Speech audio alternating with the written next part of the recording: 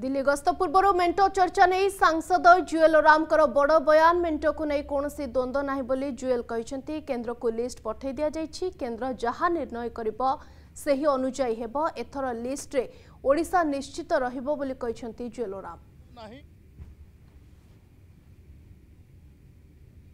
कोई मेंटो भेड़ द्वंद्व ना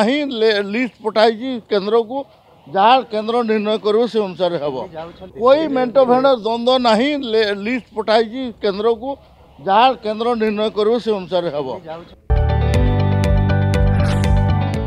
जदि आपंक आम भिडी भल लगा तेब चैनल को लाइक सेयार और सब्सक्राइब करने को जमा भी भूलु नहीं।